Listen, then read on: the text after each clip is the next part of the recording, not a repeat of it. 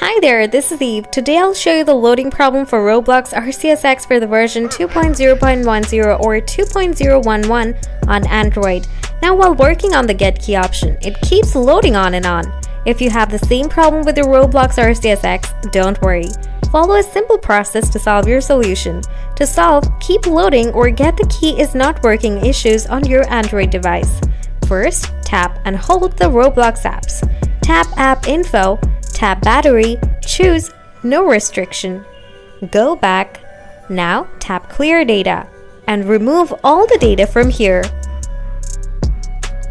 Now make sure that you have a proper internet connection for playing games from Roblox. It requires high-speed internet. So quickly, you can check your internet. After having stable internet, you can reopen Roblox apps and tap on these get key options. So here, as you can see, my problem is fixed and now I can get access to the get key option pretty quickly.